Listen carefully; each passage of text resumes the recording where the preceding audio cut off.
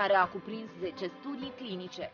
Semințele de chia contribuie la creșterea cantității de colesterol HDL și diminuarea colesterolului LDL. Colesterolul HDL este cunoscut drept colesterol bun, în timp ce LDL este cunoscut drept colesterol rău. Semințele de chia au un efect protector asupra echilibrului lipidelor din sânge și o influență benefică asupra altor marcheri ai sănătății cardiovasculare. O dietă bogată în fibre contribuie la prevenirea constipației și menține tractul digestiv sănătos.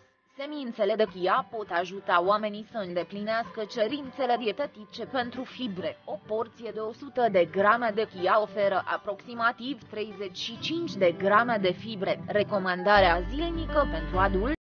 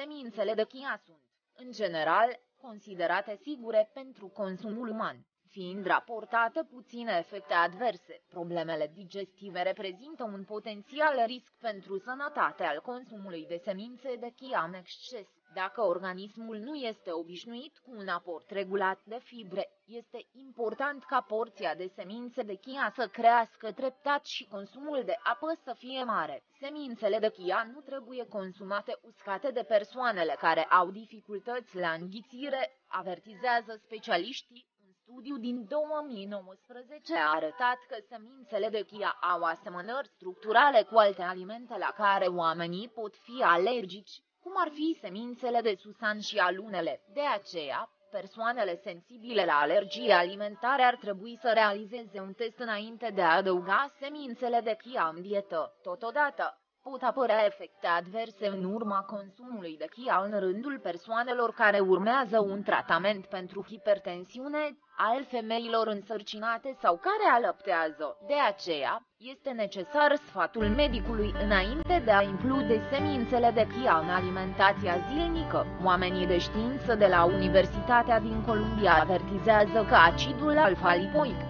care se găsește în doze mari în semințele de chia, poate contribui la creșterea riscului de a dezvolta cancer de prostată. Mulțumim pentru vizionare! Iar dacă v-a plăcut videoul, nu uitați să dați like și să vă abonați la canalul nostru de YouTube.